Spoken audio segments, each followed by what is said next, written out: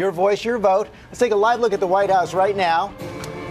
President Obama is going to stay home today as millions of Americans head to the polls. He is not on the ballot, but this election with so much at stake is very much about him and his policies. ABC's John Karl is here. And John, this vote will shape, could even shake up the president's final two years in office. George, this vote will go a long way towards defining President Obama's last two, two years in office. And while he hasn't been on the ballot, this, this election has seemed like one all about the president. This morning, President Obama is playing a starring role in elections across the country. Obama's senator, not yours. Pryor, O B A M A. In state after state, Republicans have painted this election as a referendum on Barack Obama, prompting even some Democrats to run their own ads criticizing the president. I'm not Barack Obama. The administration's policies are simply wrong.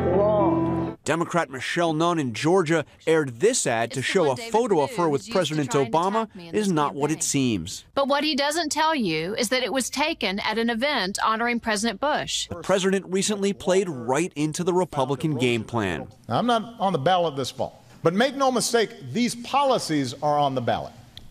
Every single one of them. In race after race, Republican candidates have made sure everybody saw that. These policies are on the ballot. The president is unpopular nationally, but even more unpopular in states with competitive Senate races. You don't agree that the president's been considered politically toxic to many of those Democrats running in? It won't surprise you to hear that I do not agree with that assessment.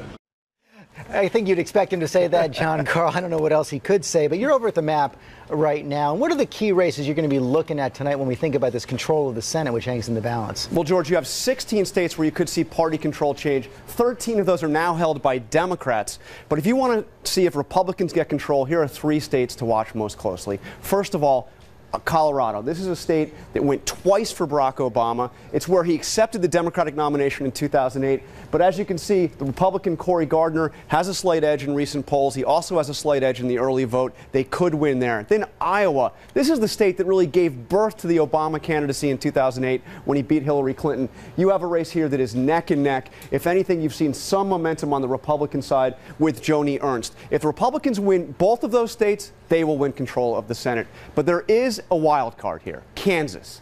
This is a state that is about as Republican as they get. They haven't defeated a Republican senator here since 1932. But look at this you have an independent, uh, Orm, Greg Orman, who could win this race.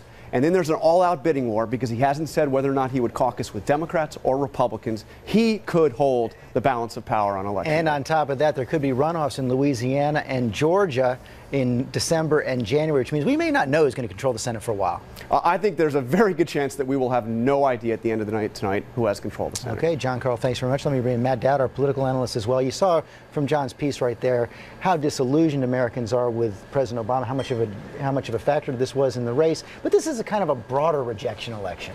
Yeah, I think it's an election about how sour the country is, and it's about both parties. Neither party in the aftermath of this election is going to be embraced by the country. But the president, for the second midterm in a row, for him, he can win a presidential election, usually going away. For the second midterm, this is a rejection of him and his leadership because he is the Democratic Party, and the Democratic Party is likely to lose seats tonight. That's that, that's what it's looking like right now. Let's look ahead a little bit to 2016. We have a new poll out this morning which shows uh, Hillary Clinton far more popular than her potential Republican opponents right now. And, and in many ways, today's midterm election is kind of the starting gun for 2016. Absolutely. I think tonight, it's probably going to even begin before the polls close tonight. All these candidates are going to be in their rooms, the potential candidates. And I think the biggest question mark in this whole thing is Hillary Clinton.